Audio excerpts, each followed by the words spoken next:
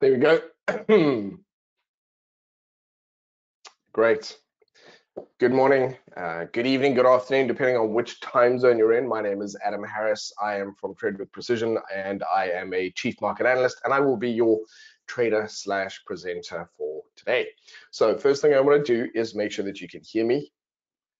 Ideally that you can hear me. I'm going to switch on my camera on uh, GoToWebinar and if you can also let me know if you can see me on that. Um, it looks a little bit odd from my side. It doesn't appear to be showing anything, so that's why I'm not convinced it actually is doing that. But also because my camera is showing up on, is being used by different apps, so it might actually have a clash with that. Anyway, for those, uh, for my colleagues who are checking the streaming on uh, OBS, please let me know how that is going. So welcome to today's webinar, the title of which is, it's part of the Trading Fundamentals series uh, and I've got it here as 12 critical techniques for new traders. Um, let me just check something here. It's actually meant to be tying it all together and there's a risk disclaimer. I'm gonna just check something here as well. Before we continue, yeah, that's what I've got here. Foundations of successful, I wanna check something else as well. Same one, why have I got this? This appears to be the same thing, which is not correct. Why is this one the same. Okay, I'm afraid I'm going to have to go with that for now.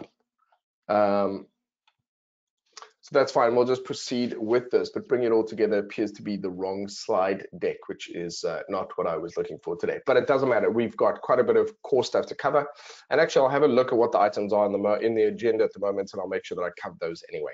Um, so there's a risk disclaimer. I need to give you an opportunity to go through um, and uh, while you're doing that, I'm going to give you some background behind who I am. I am, as I said, I'm a chief market analyst. I'm also a trader, so I day trade in the mornings. And I day trade in the mornings. I'm just, uh, my dog likes to chew her bed, and of course, this she's going to eat the stuffing, which is not what I want. So I usually day trade in the mornings, which is the UK session, which overlaps with the the Asia session, which is actually right now, we can go through and have a look at a couple of charts. There's actually a few charts that I want to show you that I think are very interesting at the moment. I then might look at the US session, might look at the US session, and then also potentially look at the end of day charts as well, the daily charts. And that's usually at around about somewhere between 6.30 p.m. and let's say 9.30 p.m. UK time. So basically very close to when that daily candle is closing, looking on the daily time frame for anything. And the reason I do this is because sometimes my days can be a bit organic in terms of what happens in non-trading activities such as I don't know, walking the dogs or having to do chores or get something fixed or go out does interfere with my ability to just focus and sit in front of the charts and day trade. So I might have to skip the session. But there's usually multiple setups in a week, uh, if not on a daily basis, depending on which session I manage to uh, get involved in.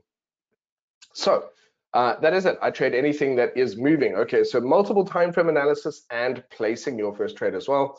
Um, so fantastic. We're going to talk about multiple time frame analysis. That's really uh, what it's going to be. Um, that is the part of tying it all together. So we've got all these previous things. So actually, this is what I'm going to use today as my uh, frame of reference. I'm going to come back to this and then uh, I'll make sure that we, uh, I'll just log the issue with a slide deck. But a couple of things that I just want to point out here. So for those of you, if this is your very first session, if this is your very first session, uh, and this is part of a series that rotates, you've got um, obviously the foundations of successful trading as part one, then understanding price action as part two. Part three is how to use indicators, and part four is putting it all together, which is taking everything you've covered up until that point and then adding multiple time frame analysis as well before you pull the trigger. So uh, what I want to do is I'm going to do a recap of all of that very quickly and make sure that we then include multiple time frame analysis so that that all makes sense to you. First of all, when we look at asset class exploration, this is the beauty of technical trading from my perspective. When we look at the charts, regardless of the asset class, they are almost all identical in terms of the behavior and the structures that we find within them. And that is principally because it's always humans behind that. And so the greed and the fear um, and the speculation uh, and the panic, all those things are pretty much universal. So within that, obviously you've got a few core professionals who are very experienced as what they do, so we're capable of taking advantage of that. one of the ways I want you to think of it is imagine that um, anyone who's watching today is surely familiar with either a cat or a dog. Hopefully all of you are familiar with cat or dog personalities. And it's interesting because obviously we get different types of dogs as well. But the thing is that we can recognize dog traits. For the most part, most dogs have certain characteristics that we think of as a dog characteristic. So even if we meet a dog we've never met before, there's a very good chance we would still be able to recognize and interact with that animal, rub its belly, for example, or speak to it in such a way that it would respond in a very similar fashion. So that's the way in which technical analysis can be applied to any particular instrument out there. It has certain characteristics. And even if we look at a chart we haven't looked at before, the characteristics tend to surface and repeat doesn't matter the kind of market. So there are some subtle differences between, say, for example, currencies or commodities and the indices, but then within that, a lot of the behaviors are identical. All right. And so the purpose of asset class exploration from a technical trader's perspective is we would look through all of the charts and look for a really strong trend. So the first thing I'm going to do here is look, and again, we'll come to the trading psychology and risk management parts in a moment let's go through here and we're going to start to run through the charts. All I'm going to do quickly is create a chart, a fresh chart, and we're going to be looking for a trend. Okay, so just going to quickly show you, I'm going to build a case to take a trade. Uh, and so all I'm going to do here is go with plain candles. There we go. Nothing else on this, remove everything else. And all I'm looking for, for example, on the daily time frame is going to be a strong trend. So in order to show you, I think what I'm going to do as well is show you what a really good trend looks like very quickly and what a very bad trend looks like. In other words, a no-go area. And then we can start to work our way through some of the charts so we can get a sense of that. And this does take practice. When you're a newer trader, one of the first things you need to master, in my opinion, is the ability to recognize money making conditions. So know that strong, healthy momentum in a market. And that provides higher probability, safer trading opportunities, money making opportunities. We shouldn't, money's not a dirty word. We shouldn't shy away from saying it. Our goal here, ladies and gentlemen, is to earn a primary or secondary source of income. And I've had a bumper month. I can actually very quickly show you what a real account looks like. So let's just go over here. This is a, a, an account that I manage for a friend of mine. And it's just had a, we've just had the most bumper month over here. Um, this is my best month to date, and I want to see if I can hit 19% before the end of the day. We'll have to see how that goes. Um, it's been a phenomenal, uh, phenomenal kind of month from that perspective. But it also gives you a sense of what realistic kind of uh, earnings can be. The reason the initial growth is very little, fun enough, is not so much to do with compounding. Um, it's actually to do with I was risking 0.25 to 0.5%. So other words, a, a quarter to half a percent per trade on every trade I was taking. So I was risking a lot less, whereas now I'm starting to risk a lot more. I never ever risk more than 1%. It's not my thing. Um, I usually risk half a percent to 1% share, and you can see the differences as it starts to kind of pick up on that. And part of the reason I did that was because uh, I don't generally manage money for other people. I only trade for myself. And so I wanted to get the, my friend accustomed to how the account would look and I was sort of doing my own thing on my own accounts and then secondary trading on his and then eventually I just started to, to attach it, copy trade it uh, to my one. That's not a solicitation by the way, um, but yeah, this is one of the things that I really do. So it shows you the kind of returns that you can look to get. And really the last couple of months have been phenomenal. November and December, I had a couple of trades open that I should have just potentially have closed uh, because nothing really happened over December. And November, I had trades that were open here that eventually have closed in January. So some of the profit, the reason it's also such a big month is because some of the profit is coming from trades that were still open throughout November and December and uh, are only closing out now. All right, so that just wants to, I just wanted to give you uh, a sense of that. Okay, that being said, let's go back to the chart. Let's have a look at what a really good trend looks like. Let me just go through and find something with an outstanding trend, and then we can, uh, then we can start to kind of take it from there. So the first thing I'm doing is looking for a good quality trend. That's not a bad one. Overall, this is really good. It's got better sections. It has some sections that I would qualify as very good. Um, sections of it like this that are very, very nice. This is also not bad. This is very good. And overall, there's a bigger trend at play here as well. So there's trends within trends, looks really good. Let's just see what uh, the question is there. When I'm risking half a percent, is it per trade or overall risk? It's per trade. That's a fantastic question, and it is per trade. And the reason I do that, and this is the psychology, I was going to come back to that, is that uh, it, it for me, I have worked out where my where my comfort zone is. So I would rather have less per trade and lots of trades on because then I know that I'm going to be net profitable. So it's a great question. Thank you.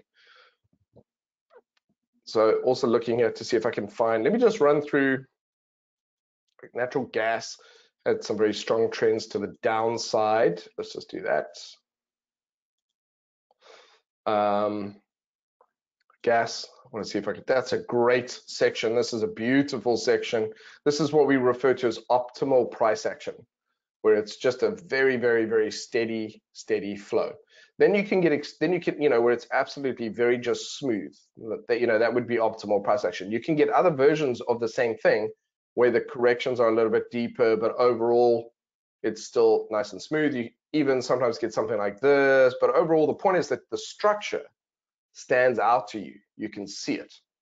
So possibly what's going through your head is you're thinking well in my experience every time i find you know finally finds something that has good structure to it it just it ends. It ends the day i take a trade in it. Then i'm right at the, that's you know that's my luck. That's kind of what happens so that's partially true. There's actually a reason for that. The reason for that is that in the beginning when we're very untrained we need a lot of evidence we need a lot of visually obvious stuff for our brains to be able to recognize it so it has to be really obvious for our brains to then go oh there's a trend because our eyes aren't trained at recognizing it. But the good news is that's your starting point. It only gets better from that point onwards. You start to be able to recognize trends, not just variations of the trends. You start to see that, that there is trend in a little bit of noise, but, and this is the beauty of it, is you start to be able to recognize it sooner, sooner and sooner and sooner. So you start to recognize it.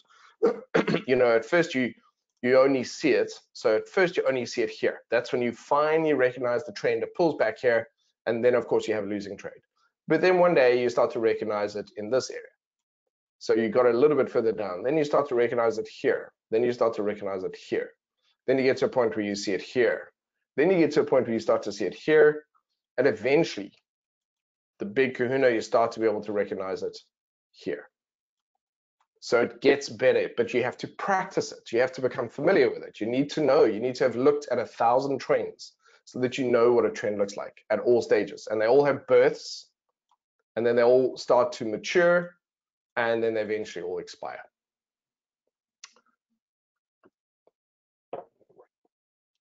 So that's a very that's an example of a great, a, a pretty good trend. Just going to quickly run through see if there's anything else. So I'm looking for anything that we might have now. Um, looking at sugar. I mean, this is ridiculous. The one that just falls off a cliff, you can't necessarily catch stuff like that all the time. There's a great trend. Beautiful, beautiful, beautiful, beautiful. Okay, Coca-Cola. Is that right? No, it's cocoa. Sorry, cocoa. I have. I didn't sleep very well last night. I only fell asleep at 4:30 this morning. That never happens. I don't know why. So I'm still waking up. I apologize. So uh, that's beautiful a couple of things I want to show you. I'm going to show you some, well, just tell you about some sort of master tips here. The angle of price is important as well. So you've got an angle there, you've got a bit of an angle there, and then the angle starts to increase. Okay, so there's the angle is starting to increase. And when it becomes too, when it starts heading towards vertical, then it's starting to like, it's starting to bubble. And we call that parabolic. And usually that means that somewhere in its future, it's going to run out of steam and it's usually going to have a correction. And this is where it gets interesting. The correction brings it back in line with the original general version of the trend. Okay, so chances are that when this does have a correction, uh, it's going to come back down into about this area, which means it'll probably come back down to where these highs are. So we'll have to see when that happens. Okay, so um, the, if it's sideways, if the market's going sideways, there's no real momentum. It's in a bit of a coma. So it's going largely sideways. As it starts to pick up pace, this is very sustainable. It's a very gentle slope. It's very good. That's starting to become a very strong trend now. It's starting to become ridiculously uh, sort of aggressive. Once it gets up to something like this, it's it's going to eventually going to. When I say it's going to crash, it's going to have a big correction at the end of it, and it always has a big correction. Um, with there's very few exceptions to that. I would say Nvidia um, has done that. We can look. Nvidia is a good example of having gone parabolic. Looks okay. Nasdaq has had a beautiful correction. I can show you that as well in a moment. And same thing to the downside. Same thing to the downside.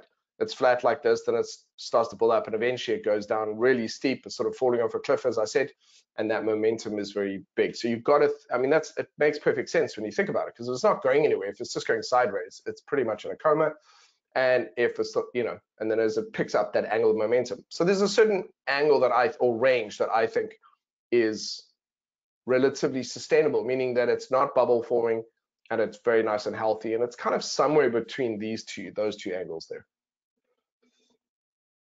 Okay. So pretty cool. Um, so that's a that's a really good sign. Now let's have a look at something that's terrible that you wouldn't touch with a 10 foot barge pole. Some of the Swissy ones are looking like that. This is uh, not a bad example. Not a bad example. Just that range overall very messy. CAD Swissy doesn't look great, but this type of patch as well. If, if price is kind of doing this, we don't really want to touch it. I call it garbage, which sometimes offends people, but it, it really is. And it's okay to be picky. This is like one of the things where I think it does pay to be picky. There's nothing happening here.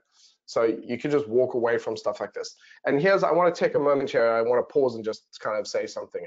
Um, our job, and this might help, our job as traders is not to try to find market conditions, any market conditions, like randomly pick an instrument, for example, euro dollar, and then try to guess what it's going to do next. We don't based off like with no real information. What we do as traders is we go through the charts until we find any chart which is producing at some stage a, either the just about to produce a pattern or in the early stages of producing a pattern that we know is likely to complete a certain way. So a head and shoulders or a double bottom uh, or a double top or inverted head and shoulders or any other kind of a strategy that is out there. So we look until we, we go through the charts until we recognize that there's a pattern that is forming that we can take advantage of.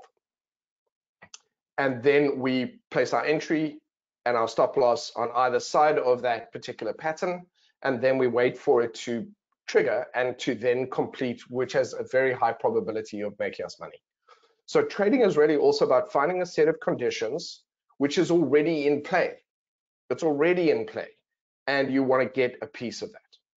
That's really important, which is why when we look for trending markets, we can usually already uh, start to engage in it. It's not so much about looking at a chart like this and going, well, I think it's going to break up here and therefore uh, I'm going to put an entry there and I'm going to just buy. And this is where you get caught in that deadly trap when you hear about people who lose money doing this.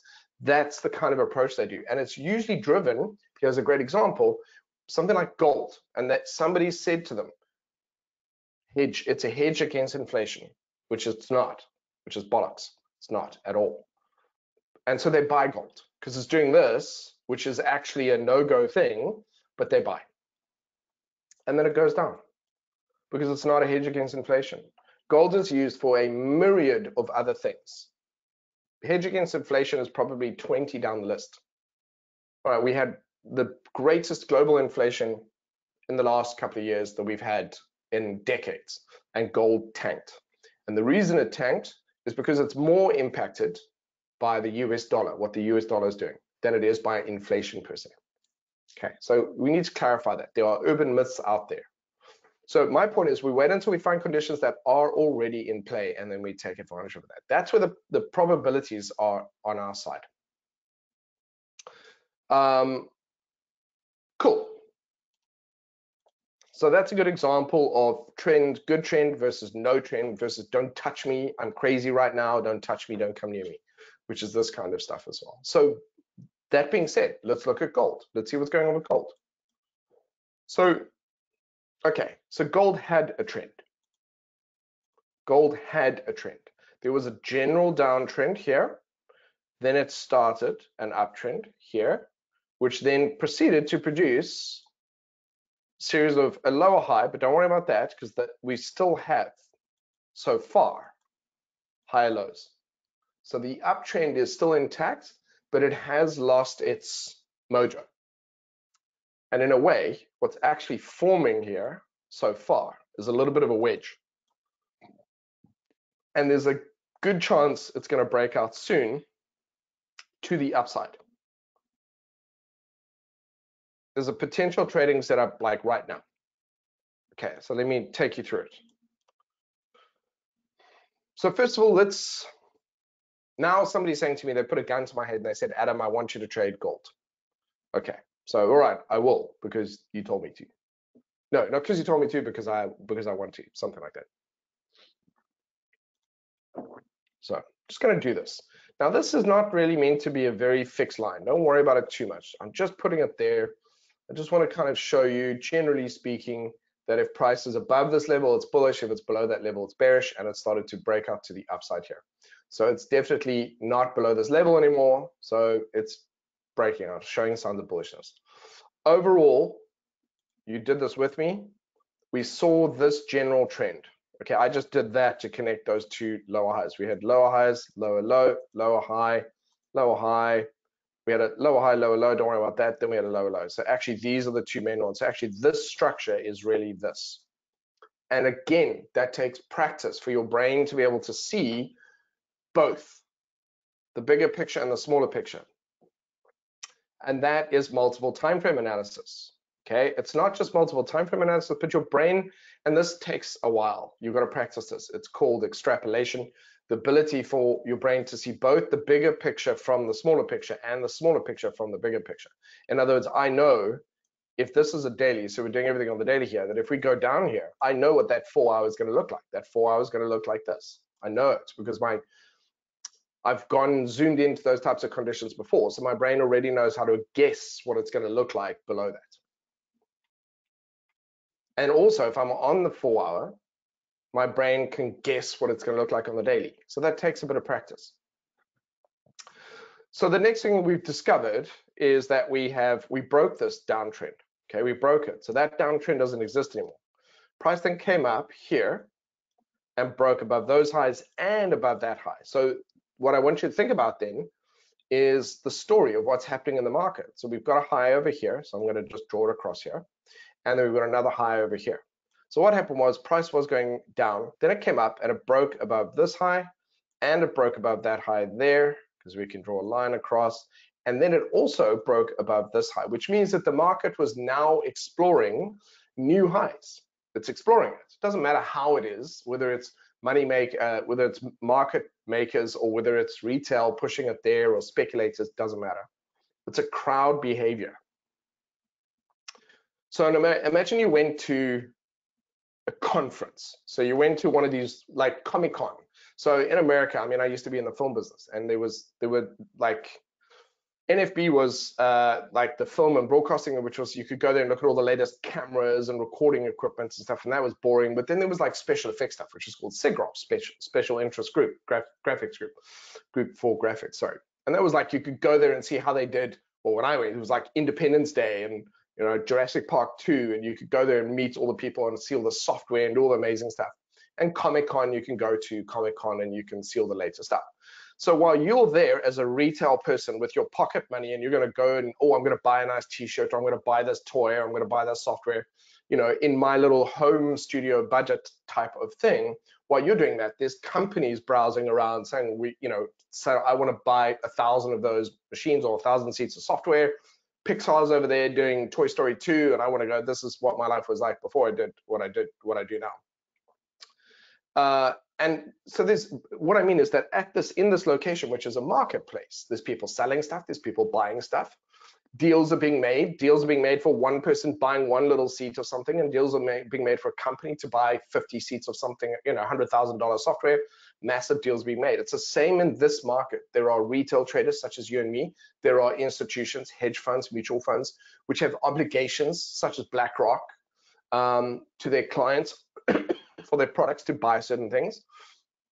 To take action, you've got um, Berkshire Hathaway, um, and you've you've got big deals and small deals all happening within the same marketplace. Okay, Uh, and so just understand that the, we, we can often think we're all operating in isolation. And let me tell you something now, big institutions can do dumb things as well as newer traders. They can do really dumb things. One of them is one of my, used to be one of my favorites was Cathie Wood's ARK. Cathie Wood has historically has done and made the absolute worst decisions. She consistently, as a, if it was a technical trader, they'd be fired. She gets in right at the top of a move, buys right at the top of a move. She did this in, within with um, Nvidia in 2021. Something bought right at the top, and then when it tanked, as as did everything else in the market, she then sold out just before it rallied. And look at where it is now. All right. And so please understand that although there are lots of professionals out there, big institutions or big companies also employ people who can make mistakes. And also they can get stuck in their own way of thinking. They can get corporate mindsets. They can make bad decisions. So I want you to understand that, that that's how you get bubbles forming when companies and individuals can all start drinking the same Kool-Aid. It happens. So back to this. We see price breaks above here and breaks above that. So the market's now testing new highs. But the market has to do retracements. It has to go push, pull, extension, retracement, extension, retracement. So after it breaks through here, it pulls back and it pulls, produces a high low here and then goes up and breaks above this. So it's definitely in an uptrend. Test new highs over here, then it comes back, does a breather, does another move up. So it goes up to these highs here, comes down, produces a high low here, comes up here. So the point is that at this point, yeah, it's battling a little bit. Gold is battling a little bit here, comes down, still tries to do a little bit here, but these are the high lows. Here's a low, there's a big low, there's a big low. At this point, it comes down it and produces a little bit of a swing low here, which goes up here, then it comes here, and then it goes up here. So, so far, it hasn't broken this low. So on the way up, it hasn't, it's doing this now, but it hasn't broken that low. And it's still operating above that level. So gold is still more bullish than it is bearish. Then it's producing a small little temporary downtrend here, but now it's produced an uptrend. So let's see what's happening here. Here it's gone from this low to this high to this higher low to this high. It has, believe it or not, gone back into an uptrend. So we study, so technical traders will study trends, we're studying price, so that we can pay attention to what is it doing now within the context of its story. I wanted to show you all of this, not because all of this matters. As you get, again, as you get more and more experienced, the less information you need to be able to know what's going on. So all I really needed to do was see about that much.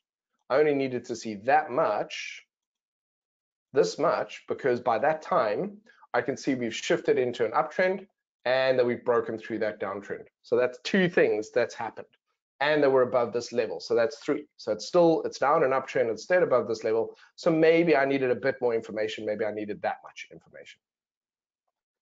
But also I can see it's in a bit of a wedge, just starting to break out through that wedge.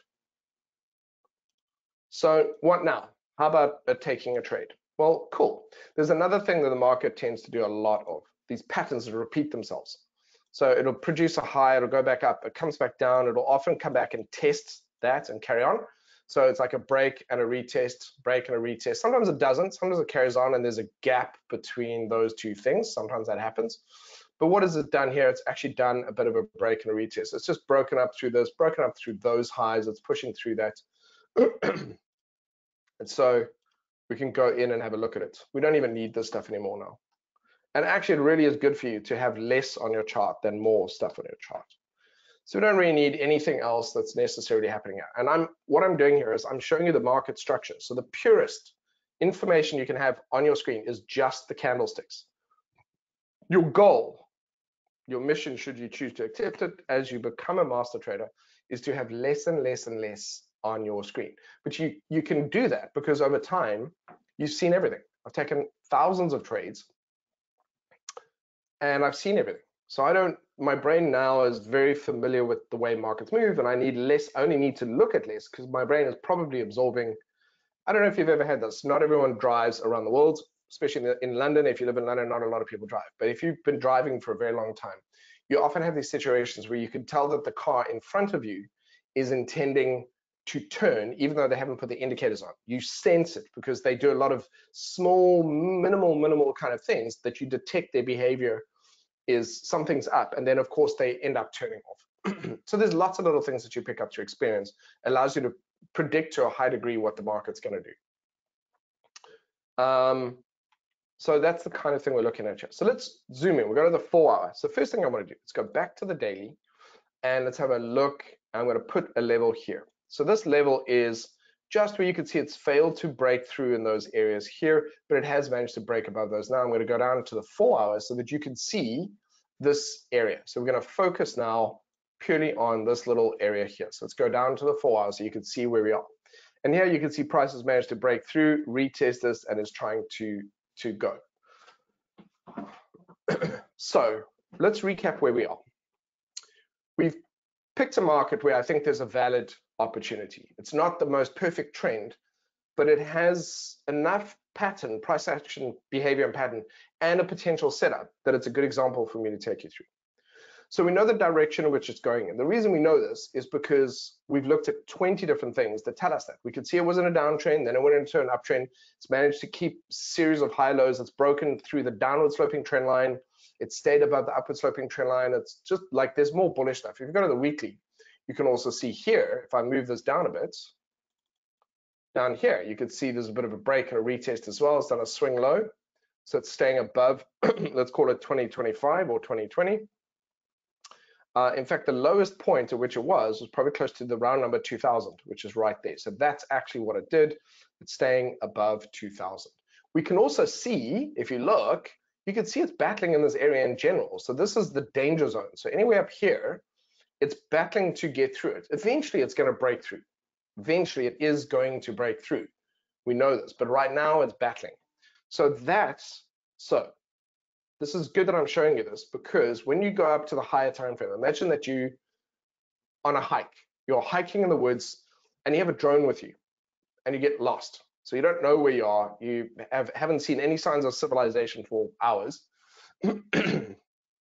so you send your drone up. So as your drone goes up and further up, and you look through your your visor, whether it's your mask or through your phone or your iPad or whatever, as the drone goes up, it sees you get smaller and smaller and smaller, and it sees the trees around you, for example. Then it's you see a stream or a river, you know, in the distance, and and maybe a landmark rock. Then as it goes further away, uh, eventually maybe it, I don't know, it sees that there's a there's a bigger river that the stream runs into, and as it pulls further and further and further and goes further into the sky, so maybe it's up a one or two kilometers up, then you can see there's a village, maybe a village or a town, um, or a camping spot, whatever that you that that's maybe where you're trying to head to in the distance.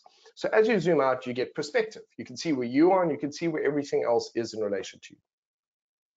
And that's what going up the higher time frames does. It gives us a sense of perspective, especially when it comes to significant price levels.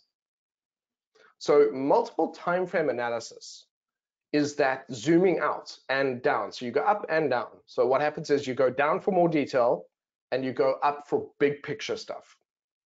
And so here the big picture stuff, especially when we go to the monthly, it helps me see, I can see the area we're in is an area that gold has struggled with in the past. But I can also see that this time the behavior is different. It's battling. It isn't, I'll tell you what's actually happening. It's interesting. This was the first area where gold hit encountered sellers. So on the way up, when you hit all-time highs, it's very prudent to take partial profits when you come up to a big number, 2000 $2,000 an ounce. Gold never, maybe never been there before. 2000 is a big round number. It's the easiest place to just look, you know what, I'm going to take all my profit off the table at 19.99. Other experienced traders are going, I expect when we get up there, there's probably going to be some sellers that are going to push back. So I'm going to get ready to sell if I see if I see any rejection in that area. So you start to see some rejection in the area, and so sellers jump in. So not only this is important, not only do the the bulls take profit, so when they get out, they are selling their positions. There are other traders that want to get in that take those positions on the other side, so they sell. Um, so those buys are replaced with sells, and so the momentum shifts. The, it loses buying power and it gains sellers in the process. And so it goes down. So there's a shorting opportunity. The second time it comes back up, if there's a similar reaction, which there almost always is, there's at least two times where it does this. So if price hits an all-time high and has a correction, the second time it there's a very high probability experienced traders will know this that you'll have a second sell-off um, in that at least in terms of a risk and probabilities thing is probably going to happen after that then we'll have to see how it goes so the second sell-off is even heavy here because people more people clue in. They realize okay there's going to be a there's going to be a sell-off here. And so they capture some of this move. They're not capturing nobody. Nobody can consistently consistently capture every pip of every move. They can't sell buy here and sell there. Nobody. Never met anyone could do it. Doesn't exist in the market wizard series books. Doesn't happen. It's not real. But you can usually count on a certain move so someone would get in here put their stop loss there and take three to one. And so there is a certain distance a minimum distance they expect it to go. But then they know that after that well we'll have to see. So in this particular case this becomes a danger zone. So you get a bit of a selling area here and then another sell and then another sell. But now price is broken through. The thing is, is that price also went up to here and had a sell. It wasn't just that it couldn't close above, let's call it sort of 1990. Couldn't quite close above that. It was able to get across, but then it had, and it failed to close above that. So basically, this is the start of what I'm going to call the danger zone. Couldn't close above that point until now, until here. So this is the danger zone, but it also got rejected here and here and here, which means this whole area, not just one area, not just this level here, but all this level, but all of it just contain a lot of heavy selling. We've managed to move and close into those areas now, but now it went up and it hit another high here. So there are lots of sellers in this area, lots of sellers. And again, it'll have, it'll include some institutions, maybe some hedge funds, maybe some high net worth traders, um, maybe some mining companies, for example. They might have been holding gold for here or holding it over here, and now they finally want to get some profit, so they, you know, they're up in profit, they close out those positions. It's a whole range of different things that can happen. The point I want to show you is that there are multiple levels of danger here, which is not that common. So, and we're still not free of it, but eventually what will happen? What will happen is that it will eventually battle its way through and probably start to settle into a trend. Okay, but it hasn't managed to get through that area yet. So what is so why I'm telling you this is because this falls under our analysis, which then goes to our risk. We can visually see where there are rocks here. It's like we're trying to navigate around, excuse me, the southern tip of, of Africa, which is was called the Cape of Storms so many ships got sunk there they couldn't get past these rocks and all kinds of things, right? Windy and stormy. So we're trying to navigate through that. We know that there are dangerous areas we still have to get through, but we are managing to get through it. It is managing to push through, and so we can take a trade. But this this is important because we can we know that we're in a treacherous area, and therefore there's risk on this trade. So that means right off the bat, it means probably I wouldn't go one percent on a trade. Here, excuse me, my nose is itchy. I wouldn't go the full 1% or the full risk amount on this trade because of that treacherousness. But I still believe that I can see where the market wants to go, and I think that there's potentially worth taking a trade. So that pertains to my assessment of the, the smoothness of how this trade is going to play out. There's risk attached. So I'm going to reduce my risk budget for this trade that's one another tick in the box. I'm showing you how we build up to do this, how experience plays out.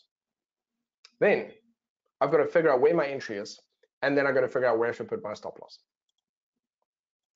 So I'm going to give you a little bit of a tip here. Every single trade, every single trade uh, that we do as retail traders usually falls into one of two categories. It's either through a pullback or breakout, meaning as the market is moving, there's a pullback, so we can get in on the pullback, or there'll be a breakout as it breaks to new highs. So you're either getting in here or you're getting in somewhere on the pullback, which actually means anywhere along here is acceptable. Some traders like to get in on breakouts to a new high, for example, and some or breakout to a new low, go the other way around.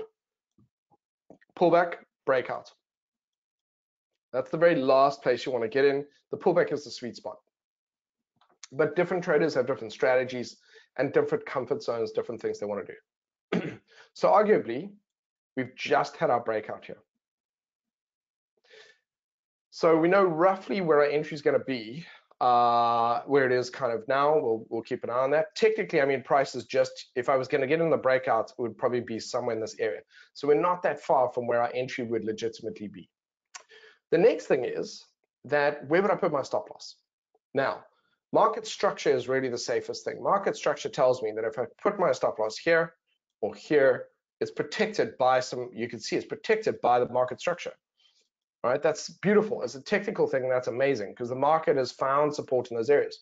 If the market drops below this area now, if it does, then clearly the market, then this whole thing that I had going all the way up here and all these levels of support have failed. So if it does do that, it's failed, which means I want to get out. So having losing trades is annoying, but knowing when to get out, in other words, you want to get out the absolute soonest point you can as soon as you know for sure this trade's not going to go your way. So the next part of that is that there are there, there's usually one or two places where our stop loss can be that are both valid. Okay. I guess I was about to say something like stop loss placement is a participation sport. Absolutely. Or activity. So I can put my stop loss below this swing low here. I can do that. That is valid. I can put it below this swing low as well. That's also valid. So you might be going, well, Adam, surely only one of those is the right one. No, they're both right. There are consequences, but in other words, there will be differences in the results between them, but they are both acceptable. In fact, my stop loss being put here is also acceptable and here and here. But that's getting ridiculous. Putting it down here is absolutely ridiculous.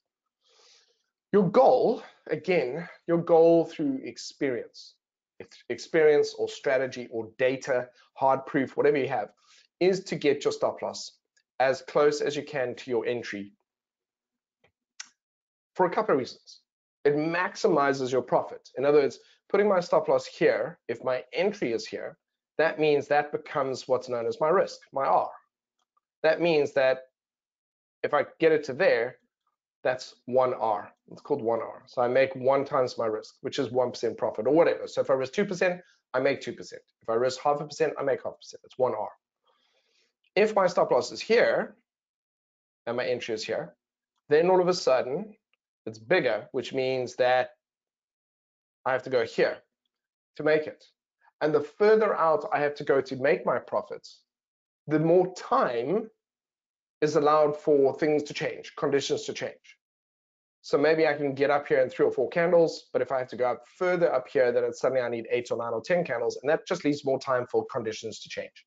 So I don't want my target to be far away. In fact, I really want my target to be as close as possible, or for me to just get more out of that distance.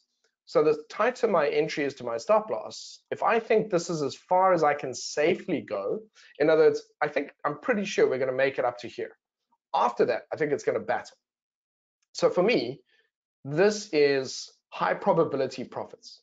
High probability profits, low probability profits. Do I have to close out my position now? No, I don't. That is an option. Okay, so we were talking about that. Notice how I started actually talking about stop loss first started looking at where can I put my stop loss first. And so I did that. So your goal as you become a more experienced trader is how close can I bring my stop loss without being silly, without exposing it to getting stop 10. If I have my entries here and my stop loss is here, right by my entry one pip away, I'm potentially going to get nailed. I'm asking for it. So I don't really want to do that. I want to bring my stop loss as close as I can because if my stop loss is closer, then this becomes a four to one, for example, or a three to one. Same entry, same entry, but better stop loss location. So as you get more and more experienced, what you really get better at is you get better at better entries and better stop loss placements, which means that you are able to milk more profits out of the same move that everybody else is going for. So that is a valid stop loss. That's a valid stop loss. I wouldn't go further than that because after that, it makes the whole trade not really worth my while.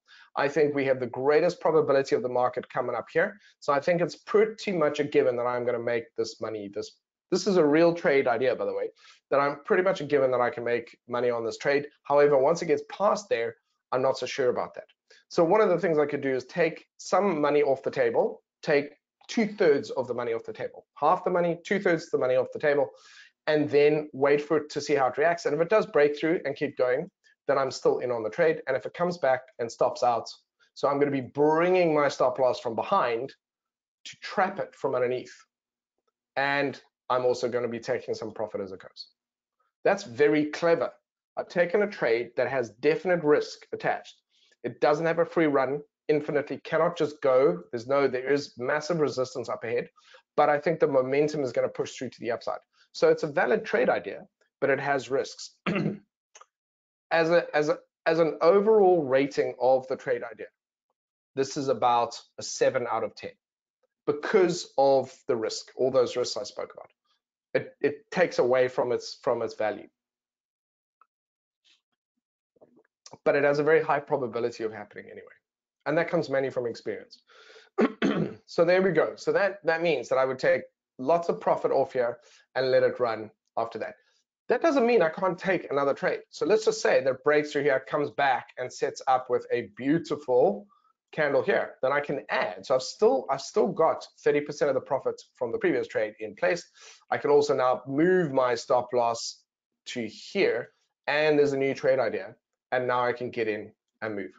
So another, I want to take a moment here in case you've never heard me speak before, or you've never heard me say this before. We're not investing now, ladies and gentlemen. This is not an investing activity. This is a trading activity. We want to compound. We want to exit our trades to bank the money to get in so we can compound on our position. So we we always have a short-term target. And that short-term target might be three to one, but we always do have an exit point where we think price is probably going to run out of steam. And we close that trade. That's not the same as investing. With investing, you're looking to buy, you're looking to hold, you need to give it time to let it play out. And you want to only only participate in markets that tend to go up over time. So you want to look at indices. You want to look, those are your safest things. Like that's a sure thing. If you trade a US index, there's about a 99% chance that if you get a good entry and a good stop loss on that and you let it run up, you're going to be fine. You're going to make plenty of money. And that's an investment approach. So it's, it's buy and hold. There's no exit plan.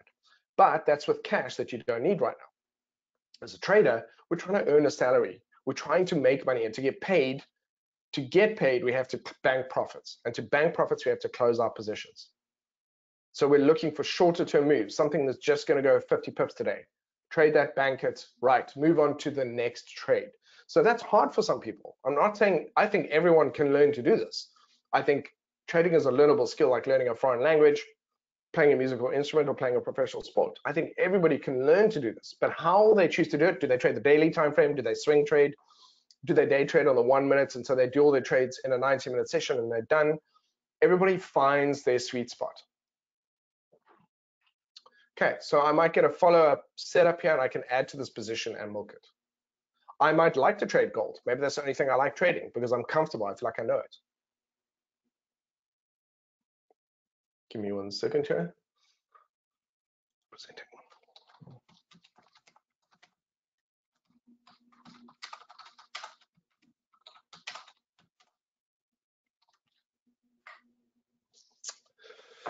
Okay, so um, that's it. So that's potentially how we could look to do it. Uh, okay, so we'd be looking for a break and a continuation. So there are different ways in which I could do it. A sloppy way of getting in would be to just buy now. Buy now, stop loss here, for example, and target here. It's a little bit sloppy. Ideally, I would be able to get a better entry. I'd be able to get any kind of a pullback or something slightly tighter. So let's go into the four hour. So this is a potential entry as well. It's also a little bit on the sloppy side. Buy now, buy where we are now, put my stop loss here. Now look what I've done. Yes, I mean, it's in its own way, it's valid. I put my stop loss here, put my stop loss here, put my stop loss here. All of those have already given me a tighter stop loss, which means I'm potentially already going to bank more out of that move. And that's on the four hour time frame. It's pretty good. Okay. And I don't think that's ridiculous. In fact, potentially that's the best way to do it. Potentially this, put my stop loss below this low, excuse me, there or there. And it's already improved the situation in a, in a perfect world, I would have got in here, maybe got in on, on one of these types of where it's a break and a retest. Okay, now if you use the moving averages, which have been covered in other webinars, you would have seen the 10 and 20 and 50 and stuff going on here. So you'd still have got the same setup. You've got the same setup the same way, just using other tools. So the reason we bring in Fibonacci levels or moving average levels is because they add additional, again, visual guides. They point you to look at certain things. So they help you see it because your eyes aren't that good. You've got like baby eyes right now. It's not, I'm making light of it, but we all have to go through it. Everybody does. Uh, let's go further down. So notice how we have this bullish candle right now. So let's go further down. Let's go down to the one hour. Okay, so this now looks a little bit slightly better. Again, you buy now, and there's a there's a, a stop there, or you'll stop here. Also, there might even be a break and a retest. You might get another break and a retest, and if you did, you could get in here with your stop loss there or there, and all of a sudden, then you've really shrunk it down, and you maximize your stuff. So in this situation, you get two types of traders. You get a trader who comes in and does his three to one, and he's out. Doesn't care. He's like, yep, I can get my three to one, and I am done or you get someone who's seen what's on the daily and gets in on a tighter entry and still uses the daily target as their end target. Two different types of traders. They have their reasons. Maybe that one person's just had a new baby, he's tired, he just wants to hit his target. He thinks if hits his three to one and his three to one is here, he's got a very good chance of it being done. It'll be done in a few hours and he can just and he can be done for the day. And it's still three to one. Okay, you might even get a hybrid. Someone who goes, okay, I'll take again half the profit off, two thirds of the profit off, and then let it run up to here. So we've covered. I want to talk because we've got we've got about seven minutes left. I want to talk about this. We've covered multiple time frame analysis to identify levels, to identify the trend. We've determined what the trend is doing. We've then discussed different types of entries on different types of time frames and different stop loss placements. And we've done that all within the context of, and we've spoken about, excuse me, the risk of the trade the risk of the trade where's the danger in this trade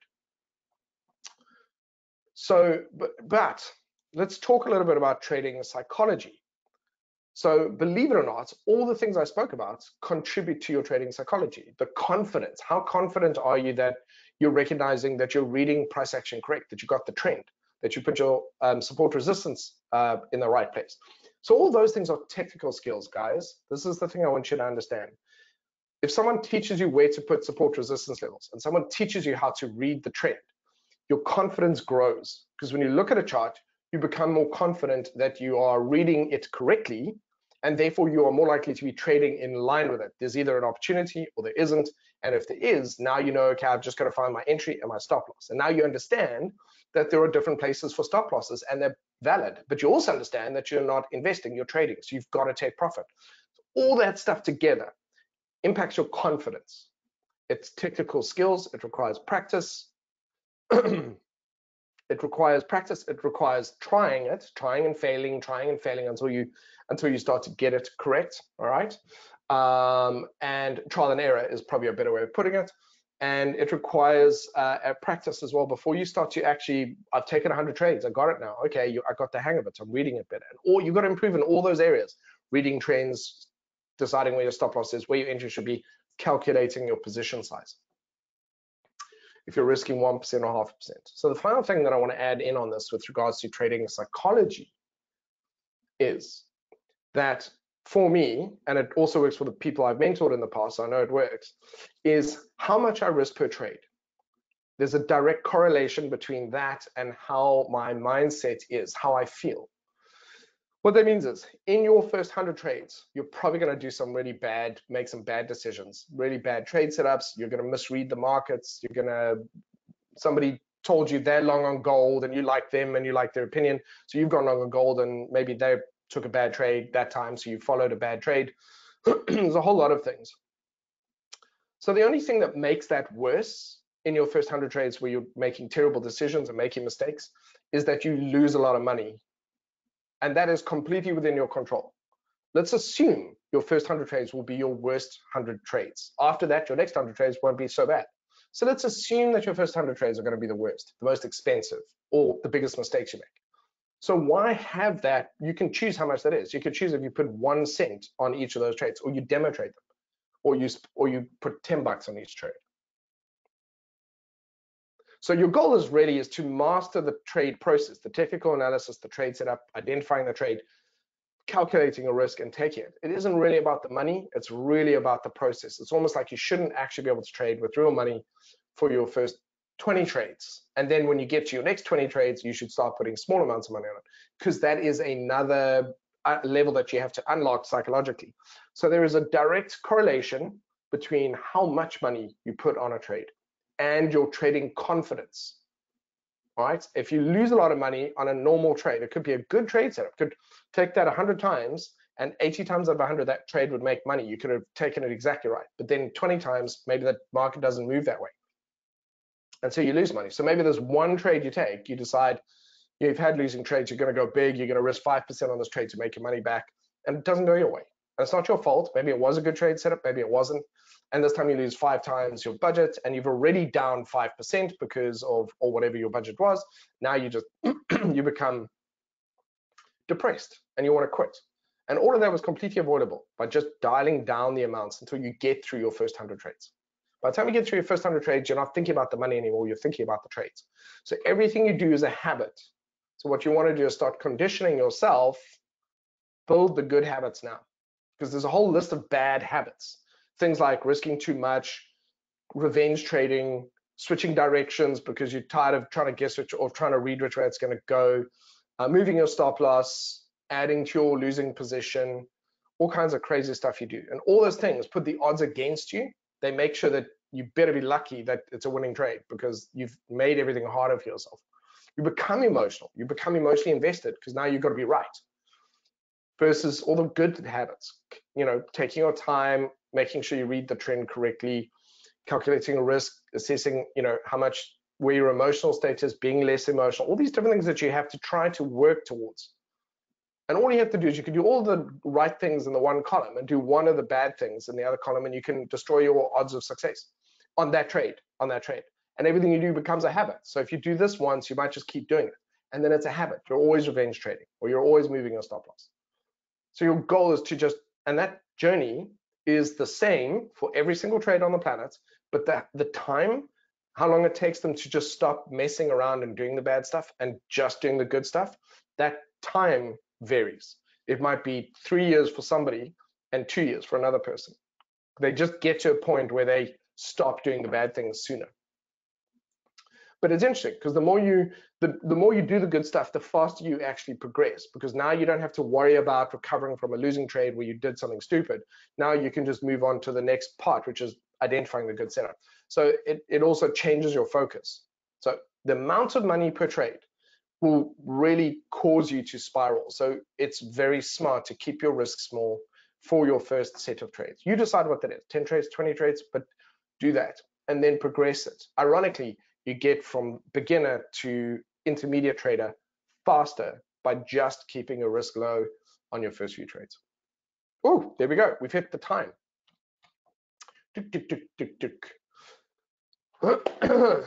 so ladies and gentlemen, I hope you found that instructive and useful. If you have any questions to do with your accounts or to do with the platform, I really recommend that you get in touch with the lovely folks at Vantage Markets. They're always there to help you, always very helpful. I, they always literally are just here on the side in my WhatsApp. There's a WhatsApp group and they're going, how's it going? They're always curious and asking how everyone's doing. Is everyone happy? Um, and if you have any questions to do that, again, my name is Adam Harris. I'm one of the traders with Trade with Precision. And uh, I hope that you have uh, found this instructive and useful, and I'm going to let you go. So uh, that's it from me, ladies and gents. I'm going to end the streaming from OBS. I've stopped it, and I'm going to end the GoToWebinar webinar. But thank you, ladies and gents, and I look forward to seeing you in uh, future webinars. Thanks.